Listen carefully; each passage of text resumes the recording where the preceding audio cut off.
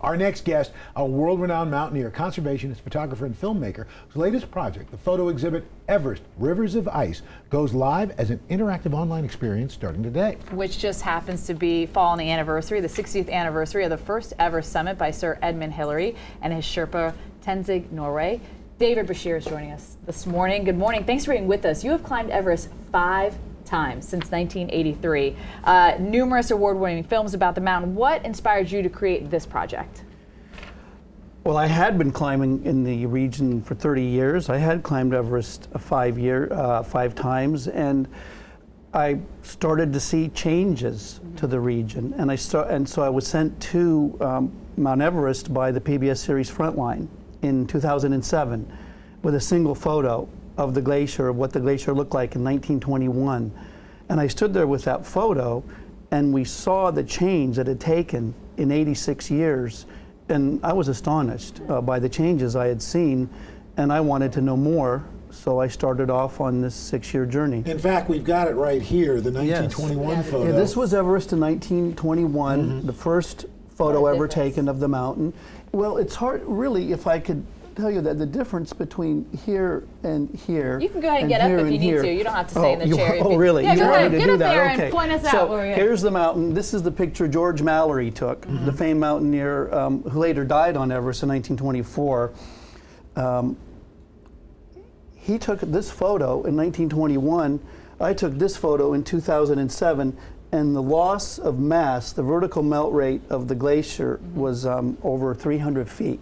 Wow. And so we, I wondered what had happened uh, in between. Uh, what was occurring in this part of the uh, Himalaya that I've been climbing in for 30 years and yet I knew so little about.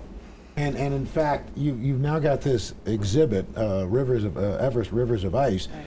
It's been seen around the world, but now you, you've got it online, and, and it makes it a much more interactive experience for people. Yeah, well, we'd been on 15 expeditions like uh, these here, traveling to 22, 23,000 feet, hundreds of miles on foot, and we had all this imagery, hundreds of thousands of pictures, and we'd reached a dead end on how we could display this Im imagery with conventional um, internet technology. And so, thankfully and happily for GlacierWorks, we formed this fantastic partnership with Microsoft and Internet Explorer because they've been developing um, the type of technologies that would allow us to have this kind of uh, rich, immersive, interactive tori- storytelling experience um, on the internet. Speaking of storytelling, you've climbed five times, as we mentioned. What's the worst weather that you experienced on Everest?